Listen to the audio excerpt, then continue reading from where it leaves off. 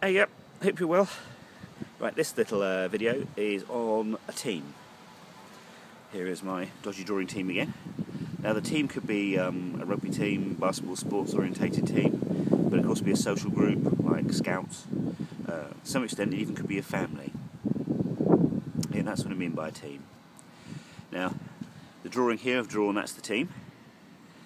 And of course, hopefully you're spotting the theme from the other videos, is each member of the team obviously has a network of friends outside of the, of the team.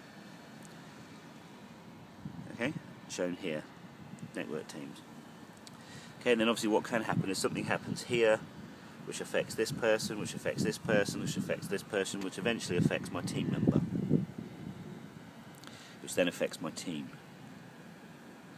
So I have lots of external influences. Of course, every team member has that network. So if I actually drew the true network, I would cover the entire park and probably be thrown out of the park, which I don't want to do, obviously. okay.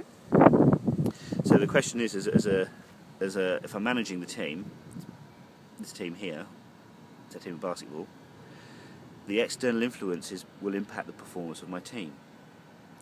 So that gives me a choice. How do I stop that? Because it's having a negative impact. One of my players is now not turning up or is a bit down. He might be my top player, which means my whole team suffers. So I have a choice to make. I can, choice one, is exert more control.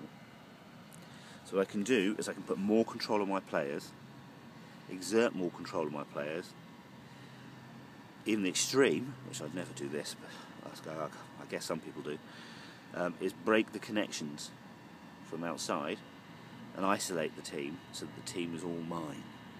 Um, I've never ever done that, but I guess it is a choice. Okay, so it's exert control on the players. Okay. Now, before I do the other one, I'm going to have to do a little left field mind jump, if you like. So hopefully you'll come with me. So here we go. Couple. Right. Here's a little experiment I played with uh, that worked a treat for me. Right, so the circle is a defined area. Okay, we, we, laid, we laid a rope down the grass area, but it could just as easily be an office. Now, these are individuals, players if you like, or family members, or whatever. And then this is the leader, me. So what we did was, I was given the goal to make sure that everybody stayed one and a half metres away from each other. The team members had to keep walking, they weren't allowed to stand still.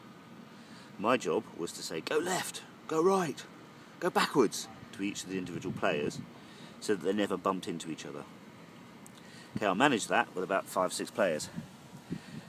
Dump in 10 players and 15 players, and I'm going, oh, oh, and I lose control. And they start bumping into each other. I can't physically direct that many people without them hitting each other. Mm-hmm. That's option one. We then pulled away, tried a new rule. This one, we gave the rule of staying one and a half metres away to each individual player.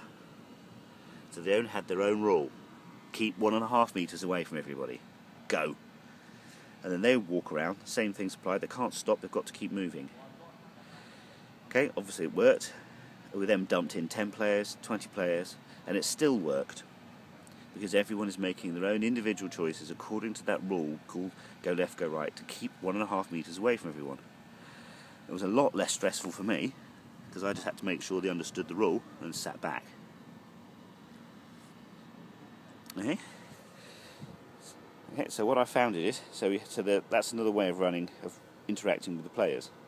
So if we jump back over to our issue over here, so we had a choice of control I exert more control on the team, or I have this one choice.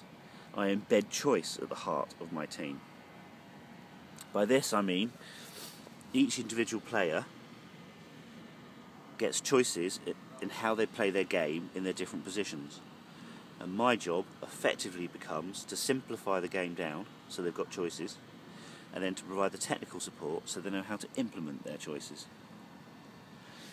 Okay, so if I embed choice at the heart of my team, what I found is a simplified choice is easier to make.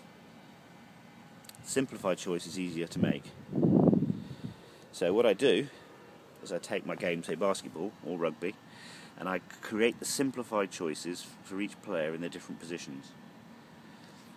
And I explain those choices to them. What we then do is I then provide the technical support for them so they know how to implement their choices. So each time they're making choice, making choice, making choice, I'm teaching them effectively to think for themselves.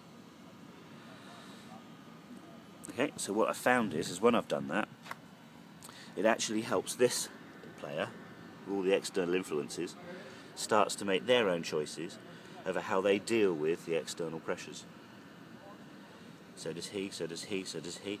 And the team becomes a place where they enhance and increase their ability to make choices, which impacts their entire lives. So my team becomes a place from which they learn to manage the stresses of life. And that feels much more much more right to me. It feels better to me than exerting more control over them. Okay, hopefully that's making sense. Um, yeah, I suppose, I suppose the final point is to do that. Order, I can only do that if they all follow the, the, the concept of a the same simplified format of choice. So if they're all making choices in different ways, they're not going to function as a team because the choices won't naturally link into each other. So what I need to do is to help them all make the similar choices in a similar way, which is why I developed the technique, a simple technique to simplify the choices for them that they can all follow. And it's this technique that I've put inside my book, which unsurprisingly is called How to Simplify a Choice. Okay, now that is it. So thanks a lot. Have a great day. Bye bye.